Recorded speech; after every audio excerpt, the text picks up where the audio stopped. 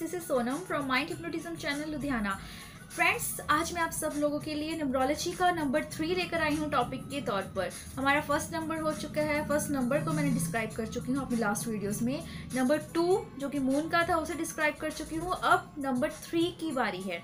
So number three number three पहली बात शिव जी को रिप्रेजेंट करता है। शिव जी की तीन आँखें हैं।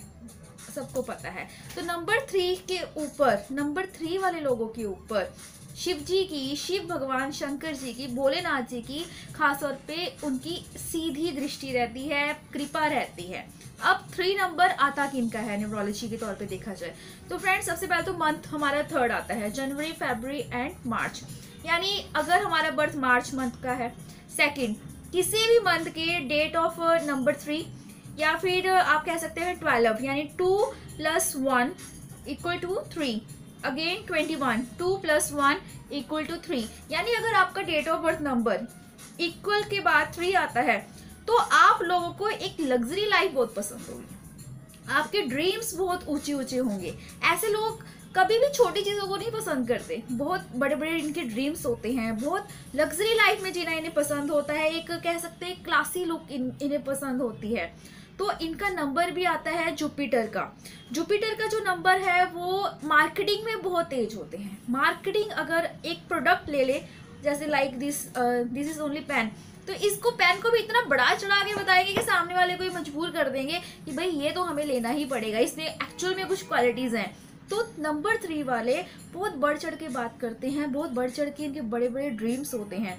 तो नंबर थ्री वालों अगर आपकी लाइफ में कुछ प्रॉब्लम्स आ रही हैं, सबसे पहली बात तो आनी नहीं चाहिए। अगर आ भी रही हैं तो आपको करना क्या है अपने गुरु की, अपने टीचर की ब्लैसिंग्स लेनी है। उनका आशीर्वाद लेना है आपको।